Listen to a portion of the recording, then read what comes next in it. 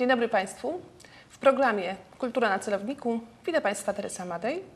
Dziś gościem programu pan Marcin Zamojski, prezydent miasta Zamościa. Witam bardzo serdecznie. Dzień dobry Pani. Dzień dobry Państwu. Po raz pierwszy wybrany przez Radę Miasta na ten urząd w 1990 roku. Aktualnie pełni urząd prezydenta Zamościa nieprzerwanie od 2002 roku. Od 2004 jest prezesem Ligi Polskich Miast i Miejsc UNESCO. W ubiegłym roku pan Marcin Zamojski, prezydent Zamościa, odznaczony został Krzyżem Kawalerskim Orderu Odrodzenia Polski. Tak. Moje gratulacje. Panie prezydencie, proszę powiedzieć, w jakich okolicznościach, czyli przywołamy rok 1992, dowiedział się Pan o decyzji wpisania Zamościa na listę UNESCO przez Centrum Światowego Dziedzictwa UNESCO? Trzeba by wrócić do historii jednak, bo mm, sam moment wpisania e, Zamościa e, to jest koniec jakby całej ogromnej akcji, która była, myślę, że można by śmiało powiedzieć, że była to akcja podjęta jeszcze w 1975 roku, kiedy ówczesne władze tutaj Zamościa, władze partyjne, wojewódzkie, miejskie, wspólnie rozpoczęły starania o rewitalizację zespołu staromiejskiego. Sławetna ustawa rządowa, która przewidywała co roku pieniądze na odbudowę Zamościa. Może wtedy ci ludzie nie myśleli o wpisaniu Zamościa, ale ten proces, który się wtedy rozpoczął, to był pierwszy element do tego, żeby można było w latach 80. rozpocząć starania. Gdyby nie lata 70., nie byłoby wpisania Zamościa.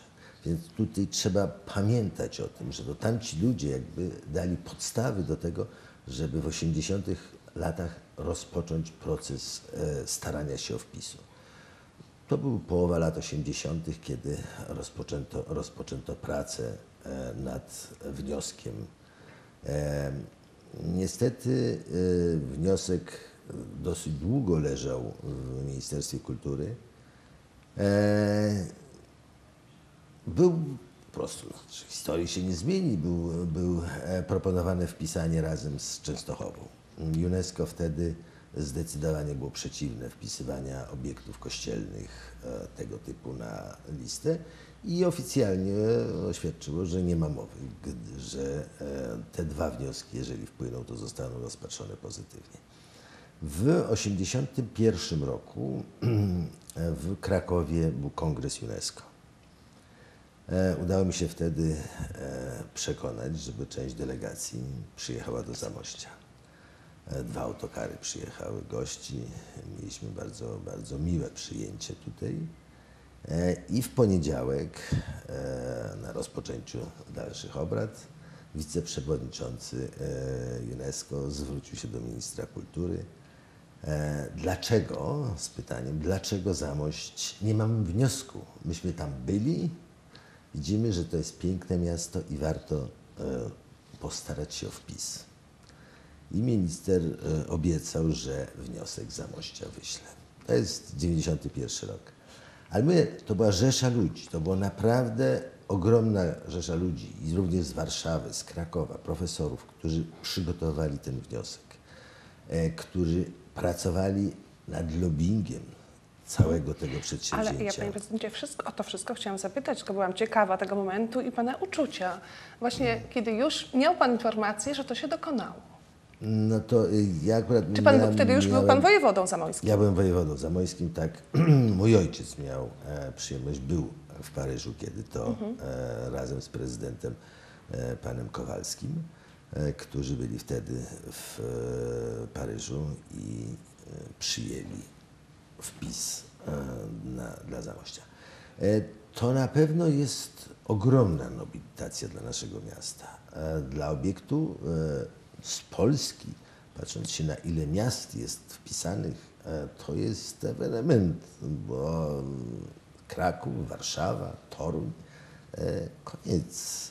Twierdza Malbork, ale nie miasto, to jest tylko twierdza wpisana.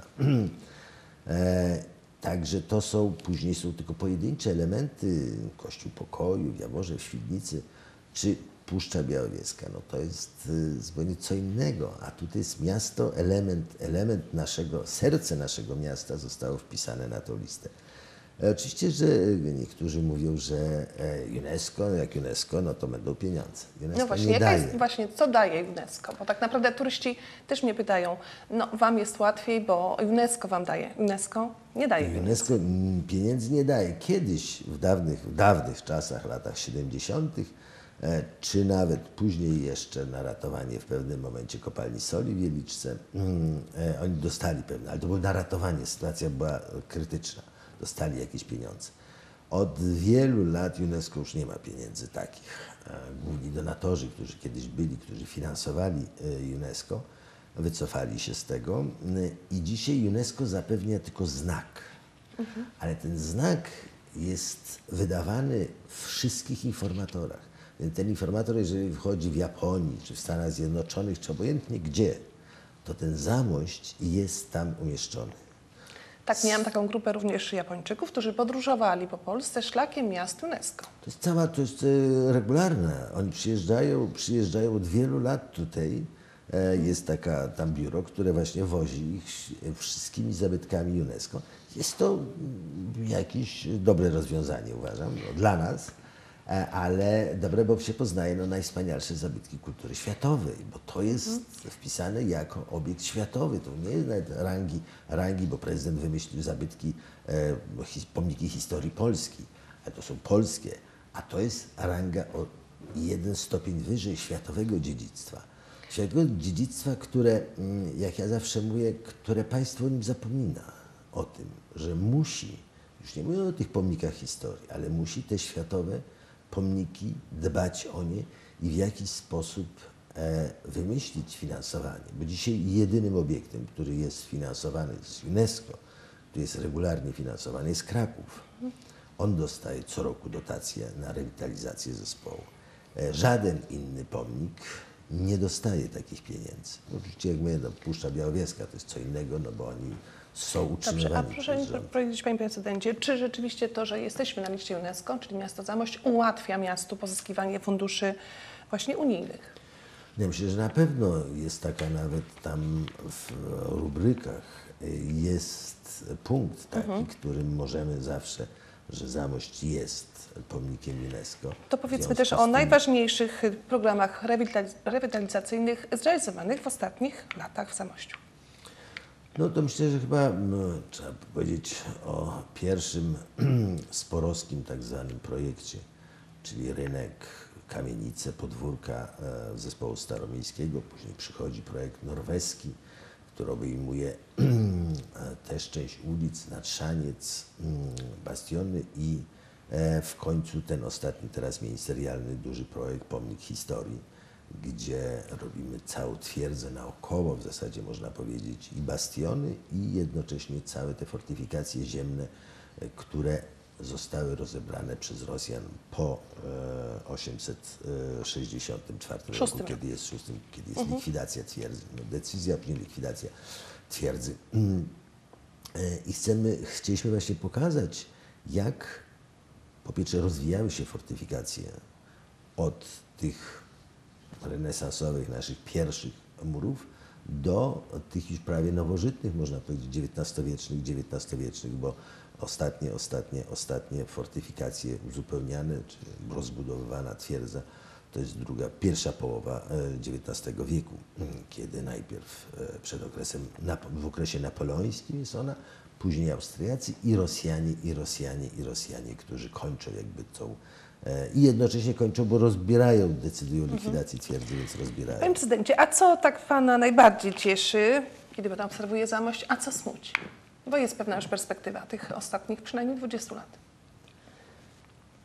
Nie no, cieszy widok w ogóle zespołu staromiejskiego, który dzisiaj jest kolorowy, jasny, wesoły, kiedy te podwórka, jeszcze nie wszystkie, e, są, e, wróciło do nich życie, bo to jest, ja bym tak nazywał, że e, można spokojnie wejść na te podwórka, popatrzeć się, jak pięknie wyglądają.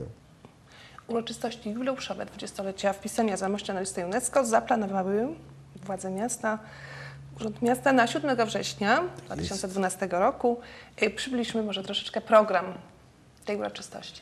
No program e, jest, tak jak dwudziestolecie nie jest to jakaś wielka rocznica, ale uważamy, że e, są jeszcze osoby, które e, właśnie uczestniczyły w tym przygotowaniu materiału do wpisu. I chcielibyśmy tym osobom wszystkim podziękować. Stąd jest pierwsza część jakby historyczna, na, sesja naukowa o godzinie 10, ona się rozpocznie w ratuszu. Tam będą wykłady, które będą mówiły osoby, kto, jak, co było przygotowywane i jakie są warunki, etc. całego, całego tego procesu e, wpisania listy. E, Później po, po południu tu w kinie e, w naszym e, w Zamościu będzie tak zwana gala uroczysta, gdzie będziemy mogli już osobiście podziękować wszystkim tym, którzy byli zaangażowani, to wręczyć im nasze odznaczenia i jednocześnie będą odznaczenia rządowe dla osób, które przyczyniły się do tego, bo o nich w pewnym momencie zap- zapomniano. Dziękuję bardzo. Dziękuję Pani. Dziękuję Państwu. Dziękuję Państwu za uwagę. Gościem programu Kultura na celowniku był Pan Marcin Zamojski, prezydent miasta Zamościa. Dziękuję, do usłyszenia.